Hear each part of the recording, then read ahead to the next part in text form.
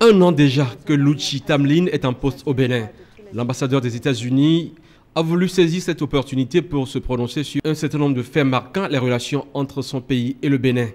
Mais actualité oblige, quelle lecture fait-elle des derniers événements qui se sont produits aux États-Unis? Élection de Donald Trump, l'avenir de la politique migratoire des États-Unis et les perspectives que ce changement offre quant aux relations entre les États-Unis et le Bénin. L'avenir de l'AGOA et du MCC sont revenus aussi au cœur de cet entretien avec les médias de la place.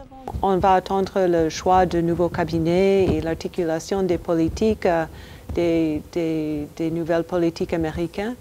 Mais ce que je peux vous assurer est que euh, la politique américaine vers l'Afrique est très stable. On a eu une politique d'accroître l'assistance vers l'Afrique. Donc, soit gouvernement républicain, soit gouvernement démocrate, nous voyons qu'il y a un consensus bipartisan entre les deux membres de, notre Congrès. Les institutions américaines euh, sont fortes et je crois qu'avec AGOA, avec euh, l'augmentation des liens commerciaux, que ça va aider aussi les États-Unis à promouvoir le commerce et l'investissement vers l'Afrique avec Benin euh, dans le secteur de l'électricité. Nous estimons que le compact va entrer en vigueur euh, peut-être en mars 2017.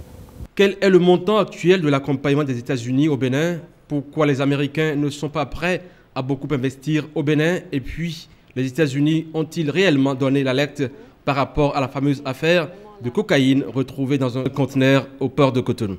Je sais qu'il y a beaucoup de rumeurs qui circulent concernant le, rôle présumé des États-Unis. Euh, ce n'était pas les États-Unis, mais je peux vous assurer que nous avons un programme de coopération avec le Bénin. Et quand le gouvernement nous demande, nous sommes prêts à offrir l'assistance technique et la coopération de nos services euh, euh, d'investigation. Autre sujet abordé avec l'ambassadeur des États-Unis, le niveau de la corruption au Bénin, le tourisme et le rôle des volontaires du corps de la paix au Bénin.